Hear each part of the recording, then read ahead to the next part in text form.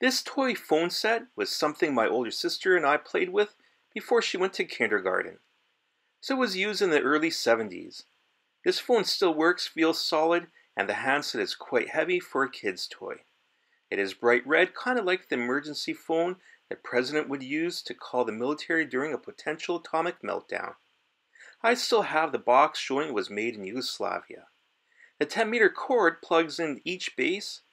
You place two D cell batteries in each phone, and the kids are having fun. It rings, the red light flashes when it rings, and you can talk and hear the other person. The rotary dial returns a little too quickly compared to real rotary phones from the day. Looking at the graphic on the box, you can imagine the male chauvinist that created it.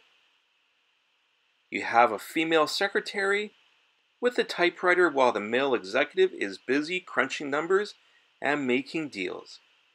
How times have changed. Today, kids have their own personal cell phones where they can play video games. 50 plus years was a simpler time when kids would mimic their parents' careers during playtime. Parents had a larger influence, and there's nothing wrong with that.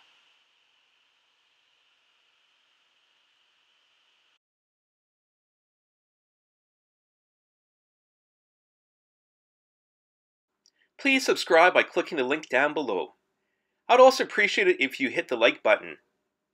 If you have any comments, I will try and respond have a good day.